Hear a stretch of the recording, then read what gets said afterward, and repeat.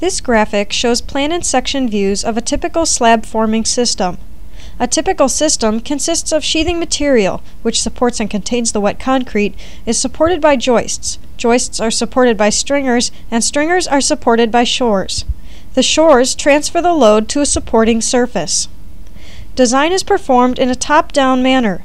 The sheathing material, which is usually lumber or Plyform, is supported by the joists, so the sheathing span capacity determines the joist spacing.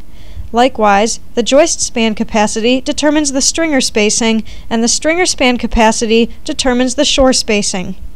Shore capacity also affects spacing. Besides checking span capacities, bearing capacities need to be checked.